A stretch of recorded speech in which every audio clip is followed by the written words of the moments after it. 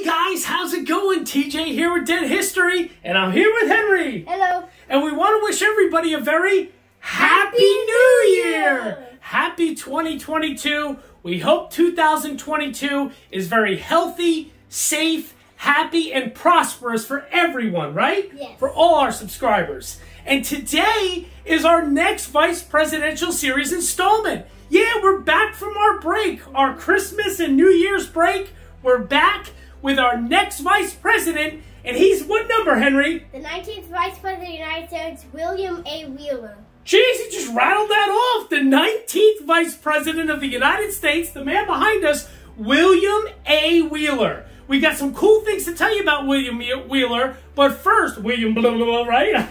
it's a tongue twister sometimes. But first, before we get into William Wheeler, the 19th Vice President, Henry, what do the people need to do? Hit subscribe down below, leave all your comments, questions, drop a thumbs up, and give a like. That's right. Hit subscribe down below. Give us thumbs up. Leave those likes. Comments and questions, we love them, right? We love the comments and questions. Make sure you give us those comments and questions. And then hit that notification bell so you can be notified when we do release a new video. Henry, when is it? Every week. Every single week. Just, you know, in case you guys forgot, we got to Yeah. remind them, right? Yeah, Exactly. It's been a little while. Yeah. So here we go. Next Vice Presidential Series installment. Sit back and relax because we're going to take a look at William Wheeler. And this is Dead history. Dead History.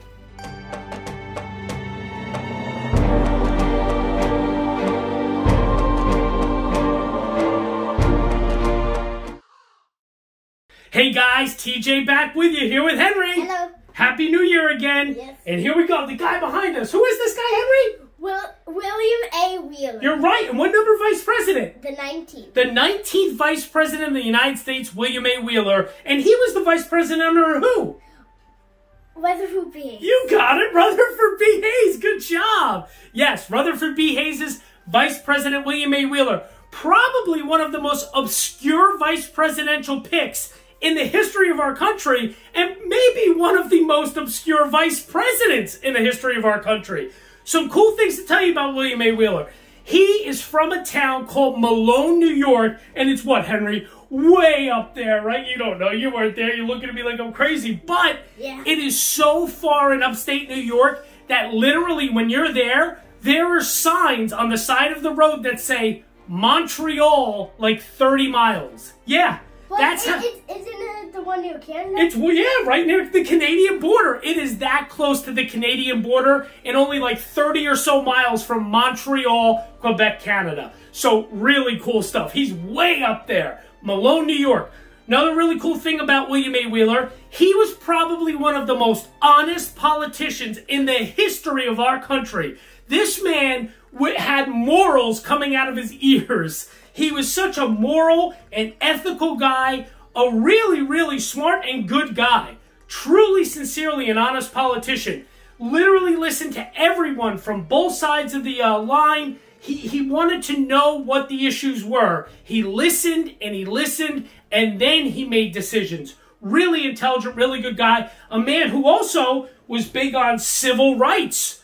Really big on civil rights. We're going to get into all these really cool things about William Almon Wheeler. But first, before we do that, you did the subscribes, you did the likes, comments, questions, you did all that stuff. Henry, they, what do they got to go get, dude? We got the potato chips, the soda, the popcorn, the pretzels. Yep, maybe you got some Halloween candy left over from your stocking or something, some Yeah. Reese's trees, whatever it is, go get it. Get ready, get those snacks. Not This- going to the fireworks. the fireworks, fireworks. Wow, you mean Happy New Year fireworks? Oh, okay, fine. So there you go.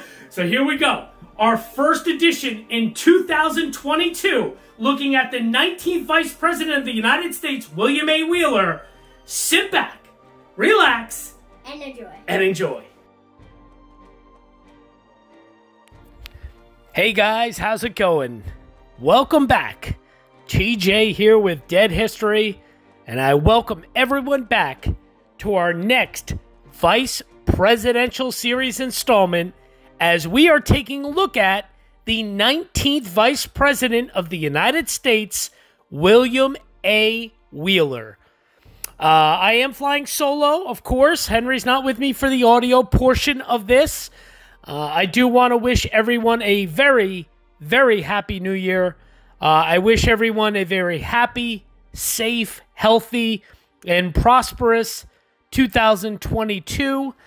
Um, just so everyone kind of has an update on myself, um, I have had a lot happen over the last two to three weeks since I've really uh, done one of these videos. Uh, obviously, the holidays took place. Uh, we have had a recent COVID scare. Uh, Henry's mom and brothers looks like they uh, they all had COVID.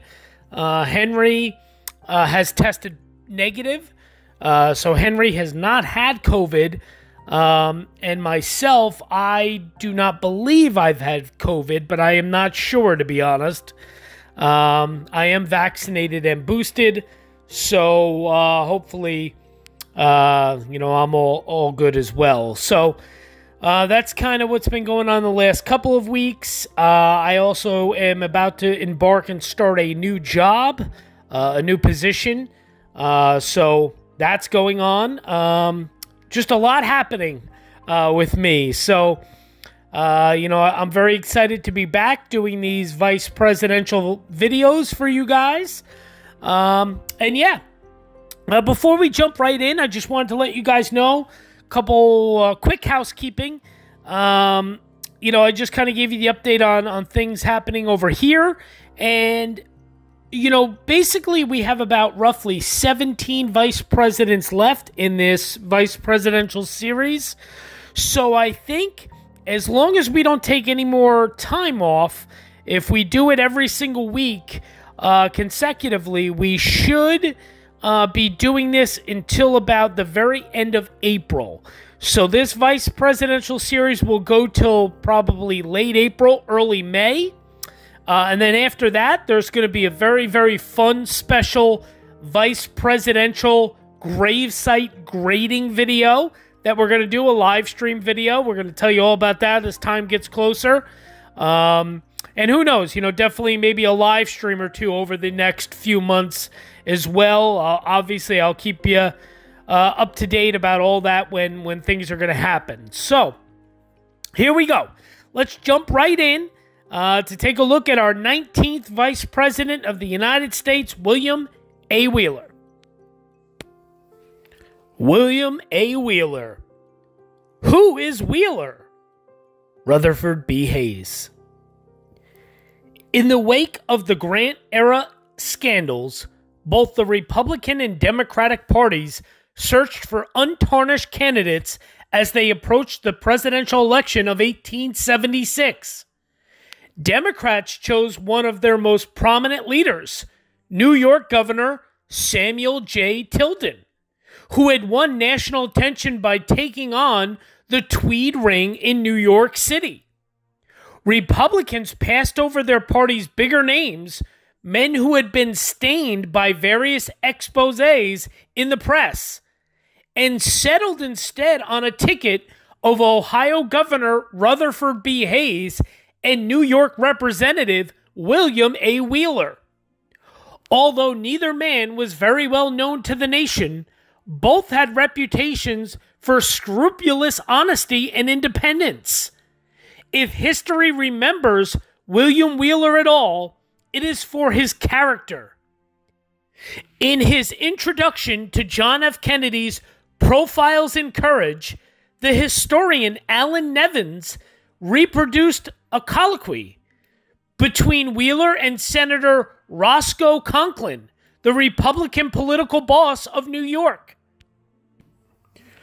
Wheeler, if you will act with us, there is nothing in the gift of the state of New York to which you may not reasonably aspire, Conkling tempted.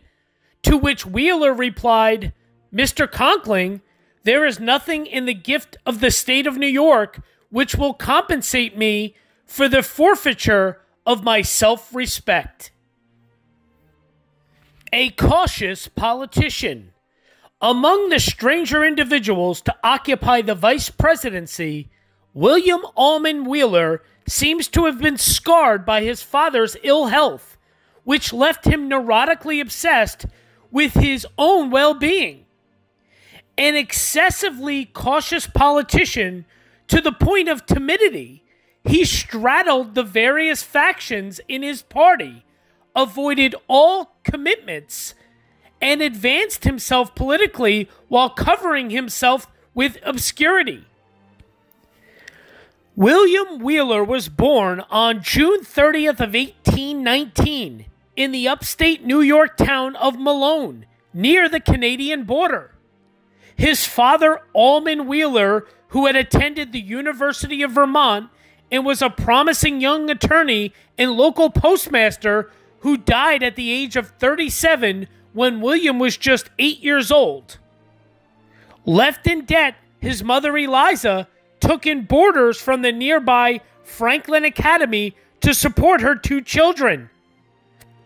William attended the academy, farmed, and did whatever he could to save money for college. At 19, with the help of a loan from a friend, he entered the University of Vermont in Burlington. There he studied for two years, at times living on bread and water, until an affection of the eyes caused him to drop out. He returned to Malone, taught school, and studied law. In 1845, shortly after he was admitted to the bar, he married one of his former students, Mary King. A Whig, Wheeler was soon running for office. He became town clerk, school commissioner, and school inspector.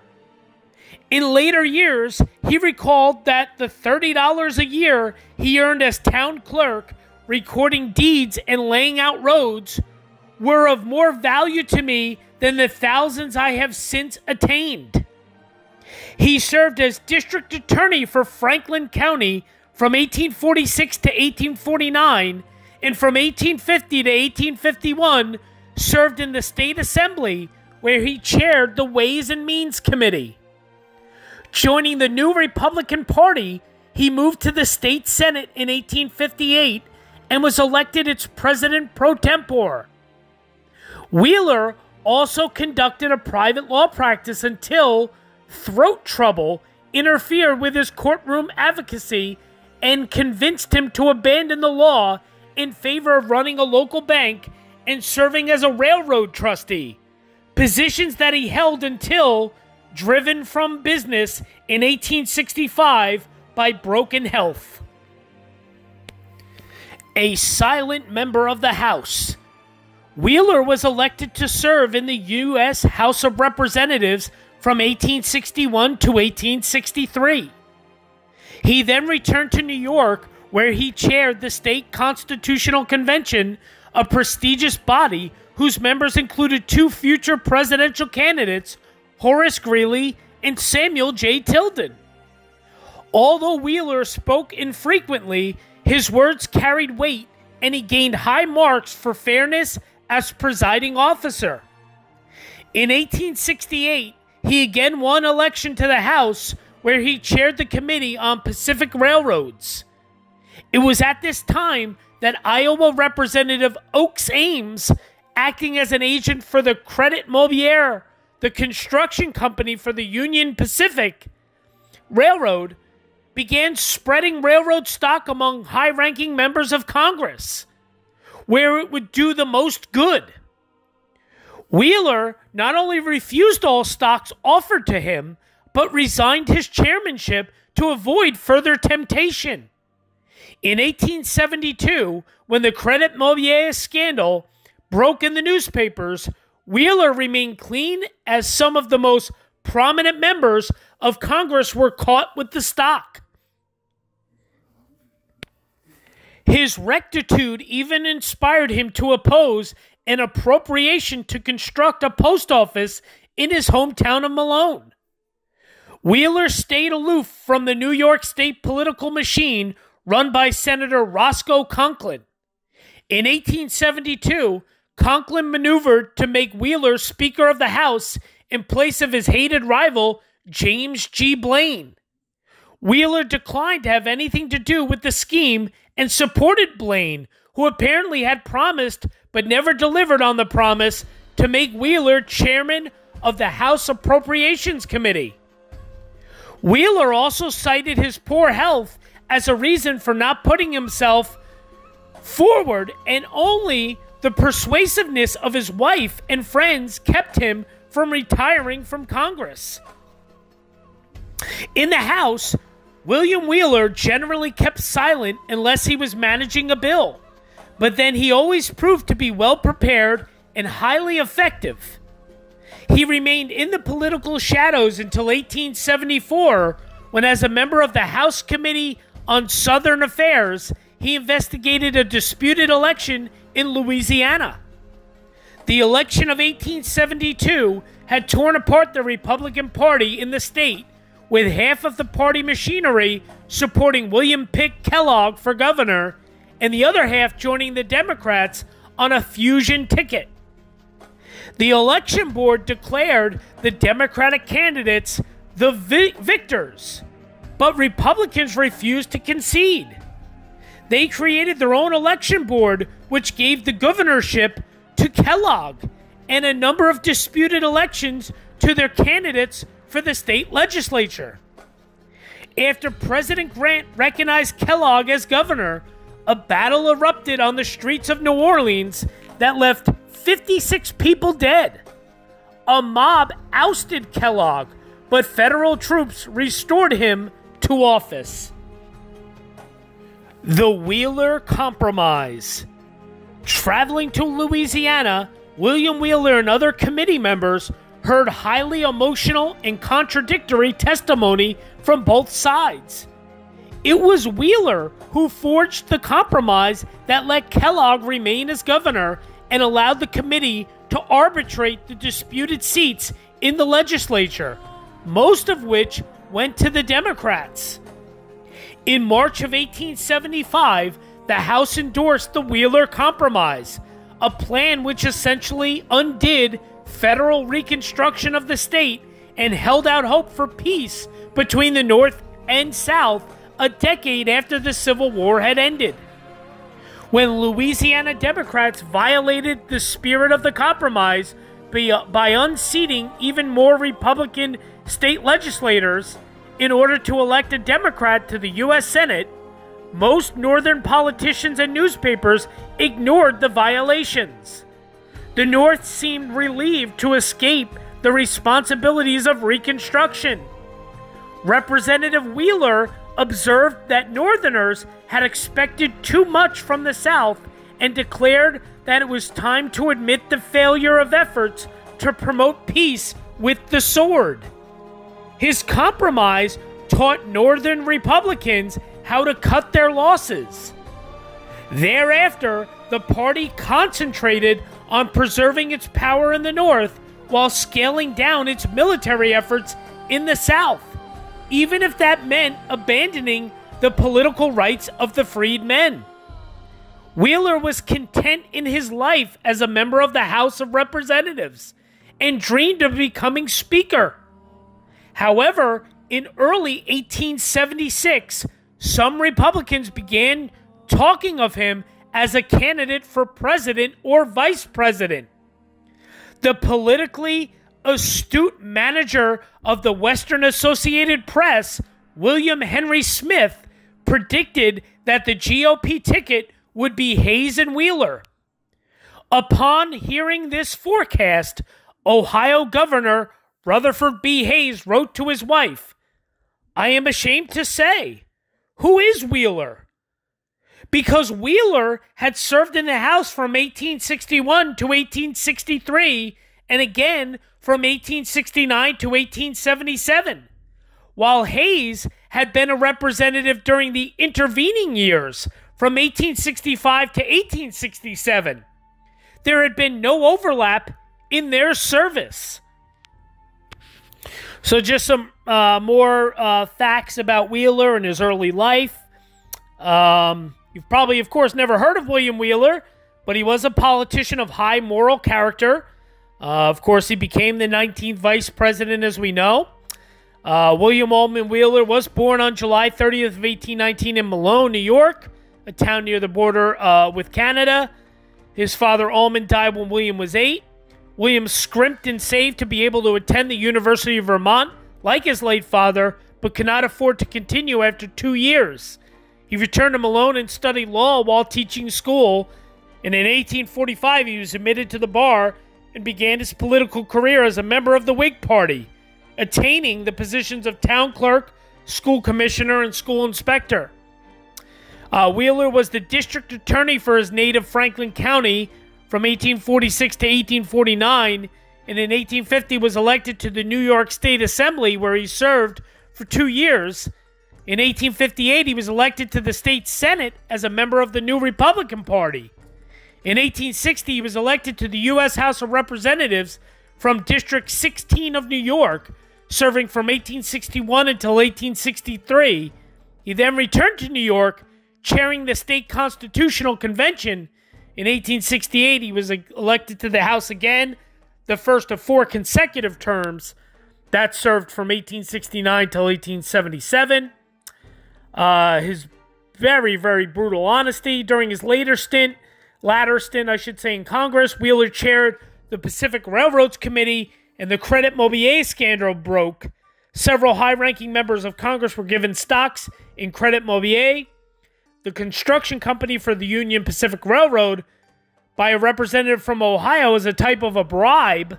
But Wheeler turned down the stocks and then resigned his position as chair so he would not be approached again. Um, in 1873, Congress voted themselves a pay raise that was retroactive for five years in what was known as the Salary Grab Act. Not only did William Wheeler vote against it, he voted against this act, uh, but he refused to accept it, uh, sending the increased portion back to the U.S. Treasury. Uh, pretty crazy. Uh, very, very honest man. Uh, I told you he attended Franklin Academy. Uh, monetary concerns forced him to drop out of University of Vermont without graduating. Wheeler received the honorary degree of Master of Arts from Dartmouth College in 1865 and LLD from the University of Vermont in 1867 and Union College in 1877. In 1876, he received his Bachelor of Arts degree from the University of Vermont as in course, making him a graduate of the class of 1842. In 1845, he married Mary King. Uh, we know that. He studied law with Asa Hascall, a Malone attorney and politician who served as town supervisor, justice of the peace, district attorney, and a member of the New York State Assembly.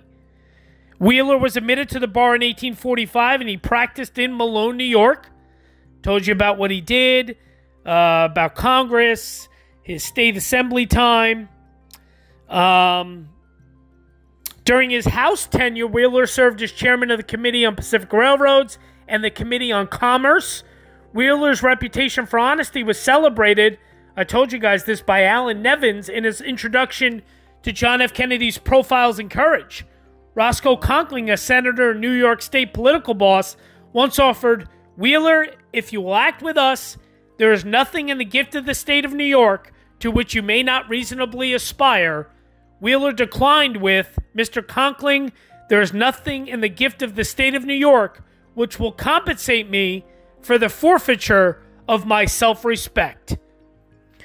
Uh, Wheeler served as president of New York's Northern Railroad. He was also president of the New York State Constitutional Convention. His acceptance speech after being chosen as president gave a ringing endorsement for racial equality. This was uh, as president um, of the Constitutional Convention of New York State. His uh, speech, his acceptance speech, this is a quote from it. We owe it to the cause of universal civil liberty. We owe it to the struggling liberalism of the old world that every man within New York, of whatever race or color, or however poor, helpless, or lowly he may be, in virtue of his manhood, is entitled to the full employment of every right appertaining to the most exalted citizenship. When Congress voted a pay raise in 1873, the uh, Salary Grab Act, Wheeler not only voted against it, but after it passed, he returned the salary to the Treasury Department, and Wheeler was responsible for the so called Wheeler Compromise, of 1875, which settled a volatile political situation in Louisiana, but eventually led to the withdrawal of federal troops and the end of Reconstruction.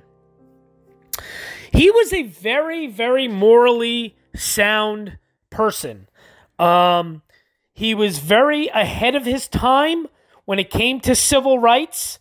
Uh, he was a civil rights uh, activist when it came to everybody should have equal rights, no matter your race, color, your uh, financial status. It did not matter to William Wheeler. Uh, he was all about equal rights and civil rights. Um, interesting stuff for sure. Very interesting stuff. So uh, that's pretty much it, guys, as far as part one goes for William Wheeler. Now, I will tell you this Malone, New York is literally, as Henry and I said in the introduction, it is so far up to upstate New York um, that you're practically in Canada. I mean, that is not an exaggeration in the slightest bit. As a matter of fact, when I said uh, in the introduction that there was a sign, um, you know, Montreal, uh, Quebec, Canada uh, was not far. Um, I said 30 miles. It's actually like 60, 65 or so miles. But the point is, it's only like an hour or so away. Uh, that's how close to Montreal you are when you're up in uh, uh, Malone. And as far as the Canadian border goes, um, I mean, you're literally, and I'm not exaggerating in the slightest bit, you are only about 15 to 20 miles from the United States Canadian border when you're in Malone, New York. That is how far north in upstate New York Malone, New York is. Now, there is a small museum there that does have some William Wheeler artifacts. I did not get to see any of that. Uh, there is also a house there that William Wheeler lived in, and there is a sign outside of the house, like a roadside sign. Um, but the house is now, I believe it's actually an Elks Lodge for the local Elks uh, group. Uh, I think they meet there. I think it's an Elks Lodge. So I will show you that sign and stuff. That I'll show you that stuff in part two. Uh, maybe there's a picture now I'm showing on the screen right now, but uh, I'll show you more signs and more angles of that. I did not take any of these pictures. These are stock photos that I found online. Um, I did visit his gravesite, of course, which you will see in part two. But as far as bonus footage, the reason I'm telling you all this, as far as bonus footage goes, um, yeah, there's not really going to be much when it comes to William Wheeler, except for my, you know, my gravesite pictures at the end of part two, because there's not much to show you when it comes to William Wheeler. Plus, uh, it would literally be about a 15 to 16 hour round trip car ride for me to go to Malone, New York from my house. It's literally like seven to eight hours one way. So I'm not really going to be able to do that uh, just to show you pictures of a house, unfortunately. But, um, you know, just wanted to give you guys a forewarning. So, uh, so there you go. William A. Wheeler 19th Vice President of the United States. That's his early life uh, and his rise in the political ranks. Tomorrow, for part two, we're going to get into, of course, his candidacy for vice president, his the the controversial, crazy election of 1876. We're going to get into that. And then, of course, his vice presidency, his legacy, and his death. We're going to get into all that tomorrow for part two. So I appreciate it, guys. Thank you for all the support. Thank you for everything you do. You guys are wonderful. And I am so happy to be back. Really excited to keep moving forward with this vice presidential series. And we will see you tomorrow for part two. Thanks so much, guys. Bye bye now.